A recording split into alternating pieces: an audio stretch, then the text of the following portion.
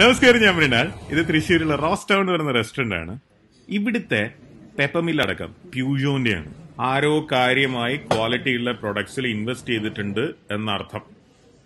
അവിടെ ഒരു എൻട്രി ഉണ്ട്. ഒരുപാട് ഇന്റർനാഷണൽ സാധനങ്ങൾ സാധാരണ എല്ലാ റെസ്റ്റോറന്റിലും പോകുമ്പോൾ ചെയ്യുന്നത് പോലെ അവരോട് ചോദിച്ചു എന്തൊക്കെയാണ് കഴിക്കേണ്ടത്? എന്തൊക്കെയാണ് ഇവിടുത്തെ ബെസ്റ്റ് സാധനങ്ങളെന്ന്? റെക്കമെൻഡ് ചെയ്തതാണിത്. ഈ ലൈവ് ഗ്രില്ല് ചെയ്ത് എനിക്ക് ഭയങ്കര ഇഷ്ടപ്പെട്ടു. ഇങ്ങനെ ചെയ്ത ബീഫ് മുഴുവൻ ഇതിലാവുന്നല്ലാണ്ട് വേറെ ഗുണമൊന്നുമില്ല. അതെടുത്ത് ഇതിന്റെ മുകളിൽ തേച്ചിട്ടുണ്ട്.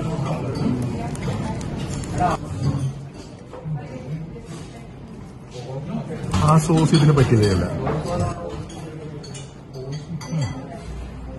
അതെന്തിനാ? അതിന്റെ ആവശ്യമില്ല ഇത്. ഇറ്റ്സ് ഗുഡ് ഡിപ്പിൽ മുക്കുമ്പോഴാണ് ഇതിന്റെ ടേസ്റ്റ് പോകുന്നത്.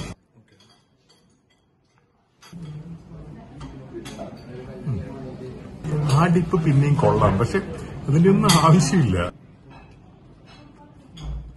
ഇത് മാത്രം മതി.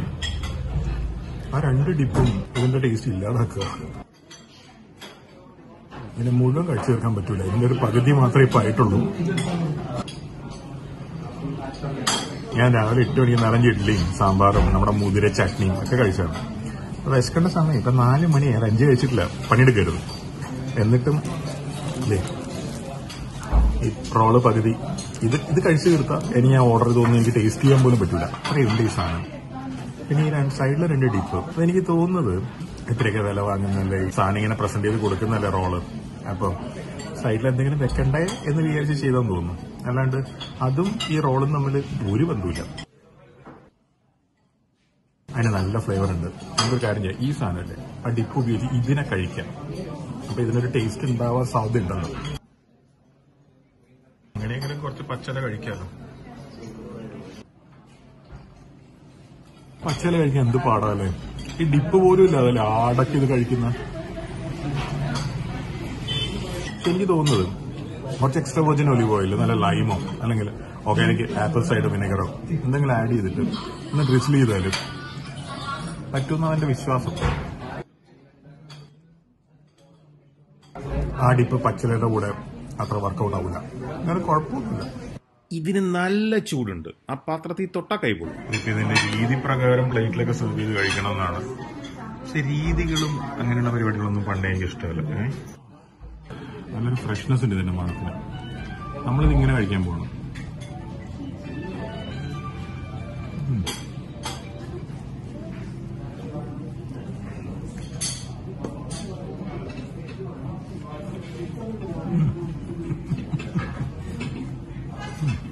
ഉപ്പ് ഒരു പൊട്ടിക്ക് കൂടുതലാണെന്ന് ഒഴിച്ചാലും സൂപ്പർ സൂപ്പർ ഗുഡ്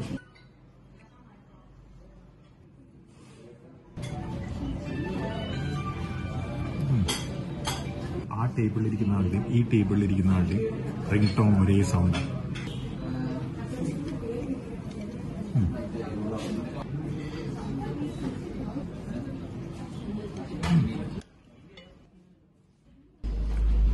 അവരുടെ ഫ്രഷ്നെസ്സും ആ ഒരു ടാങ്ങിനിസം ഓക്കെ റൈസിന്റെ കൂടെ ചിലപ്പോൾ നന്നാവും അല്ലേ?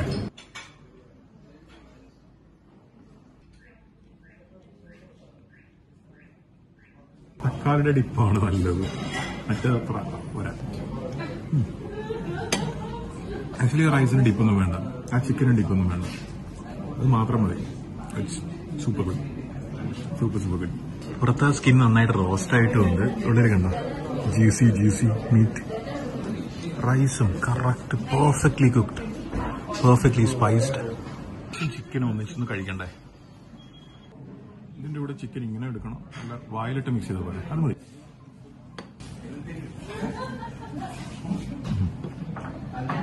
അതിന്റെ മുകളിൽ ആ ഫ്രൈഡ് ഒണിയൻ ഉണ്ടല്ലോ. അതാണ് അതിന്റെ ഒരു സോൾ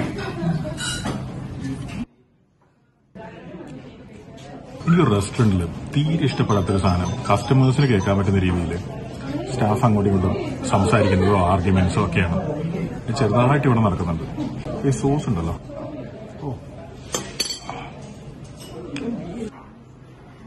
ഇതിലേക്ക് ഈ സോസ് മുകളിലേക്ക് ഒഴിച്ച് സാലഡ് അതിന്റെ മുകളിലിട്ട് റോൾ ചെയ്ത് കഴിക്കണം എന്നാണ് അവർ പറയുന്നത് സോസ് നമുക്കൊന്ന് സ്പ്രെഡ് ചെയ്യാം.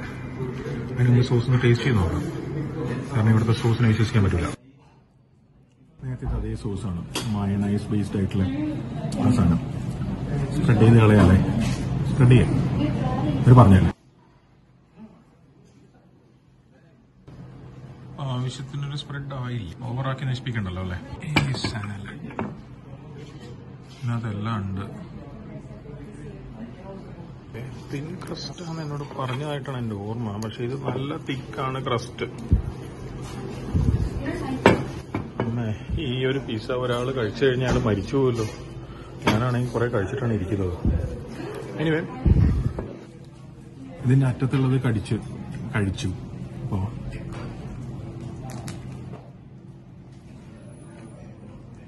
എനിക്ക് തോന്നുന്നു ആ സോസ് ഒഴിക്കാതെ കഴിച്ചിരുന്നെങ്കിൽ ഭക്ഷണം നന്നാവായിരുന്നു. സാലഡിന് ഒരു ചെറിയ പുളിയുണ്ട്. സോസിന് ചെറിയൊരു പുളിയുണ്ട്. അതൊക്കെ കൂടിയിട്ട് ഇതിന് ഈ റോളിന് അൺപ്ലസന്റ് ആയിട്ടുള്ള പുളി വരുന്നു. എല്ലാം കൂടെ കൂടുമ്പോൾ ഇവിടെ വരേണ്ടത് ഇവിടുത്തെ ഭക്ഷണത്തിന്റെ ഭയങ്കരമായ ടേസ്റ്റ് കൊണ്ടൊന്നുമല്ല. ഇവിടെ അവർ റെക്കമെൻഡ് ചെയ്ത മൂന്ന് ഡിഷാണ് ഞാൻ കഴിച്ചത്. അതിൽ റൈസ് പ്ലസ് ചിക്കൻ ദാ സൂപ്പർ സൂപ്പർ ഗുഡ് പക്ഷെ ആദ്യത്തെ റോളായാലും രണ്ടാമത്തെ പീസ ആയാലും അതിന് അതിന്റെതായിട്ടുള്ള കുറെ ഫ്ലോസും സംഭവങ്ങളൊക്കെ ഉണ്ടായിരുന്നു. പ്രത്യേകിച്ച് ഒന്നാമത്തേന് ഡിപ്പും അവസാനത്തേന് ആ കോമ്പിനേഷൻ മൂന്നും കൂടെ കൂടുമ്പോൾ പുളിയുടെ പ്രശ്നമൊക്കെ ഉണ്ടായിരുന്നു. പക്ഷെ ഇവിടെ വരേണ്ടത് ഒരു എക്സ്പീരിയൻസിന് വേണ്ടിയിട്ടാണ്. ഇവർ ചെയ്യാൻ ശ്രമിക്കുന്നത് ഒരു വൺ വർക്കാണ് അതിന് ഇങ്ങനത്തെ ഒരു സംഭവം കേരളത്തിൽ ഞാൻ വേറെ കണ്ടിട്ടില്ല. ഞാൻ ഒരുപാട് സ്ഥലത്ത് പോവാത്തതുണ്ടാവും പക്ഷെ എന്നാലും ഞാൻ കണ്ടിട്ടില്ല. അവർ മെനക്കെട്ട് ഇന്റർനാഷണൽ ഡിഷസിനെ റിസർച്ച് ചെയ്ത് പല സംഭവങ്ങളോടെ ചെയ്യുന്നുണ്ട്. അതുപോലെ ഇപ്പൊ എൻട്രി ആയാലും എന്തായാലും നമുക്ക് ഭയങ്കര രസമായിരിക്കും ഇവിടെ ഇരിക്കുമ്പോൾ ഒറ്റയ്ക്ക് വന്നിട്ട് ഇപ്പൊ ഞാനിപ്പോ ഒറ്റയ്ക്കാണ് വന്നത്. ഒറ്റയ്ക്ക് വരുന്നതിനേക്കാളും നമ്മളൊരു അഞ്ചോ പത്തോ ആൾക്കാരുടെ കൂടെ വന്നാൽ ശരിക്കും എൻജോയ് ചെയ്യാൻ പറ്റും ഇവിടെ. നമ്മൾ സാധാരണ കാണാത്ത സാധാരണ പരിചയിക്കാത്ത കൈൻഡ് ഓഫ് സംഭവങ്ങളാണ് ഇവിടെ നടക്കുന്നത്. പിന്നെ ക്വാണ്ടിറ്റിയുടെ കാര്യത്തിൽ ഒരുപാട് കൂടുതലാണ്. ആ പിസയൊക്കെ ഒറ്റയ്ക്ക് മേടിച്ച് കഴിച്ച് തീർക്കുന്ന പറഞ്ഞു കഴിഞ്ഞാൽ വലിയ പാടായിരിക്കും. അപ്പൊ കുറെ പേരുണ്ടാവുന്നതാണ് നല്ലത്. കുറച്ച് ഓർഡർ ചെയ്താൽ മതി. അതായത് നിങ്ങൾ പത്ത് പേരുണ്ടെങ്കിൽ സാധാരണ ഇതിൽ നമ്മൾ അഞ്ചു പേർക്ക് ഓർഡർ ചെയ്യുന്ന പോലെ ഓർഡർ ചെയ്താൽ തന്നെ പത്ത് പേർക്ക് കഴിക്കാനുള്ള ഉണ്ടാവും ഇറ്റ്സ് ക്വയറ്റ് നൈസ് ഇന്റീരിയർ ആയാലും എല്ലാം അവരുടെ സർവീസ് ആയാലും. It's quiet nice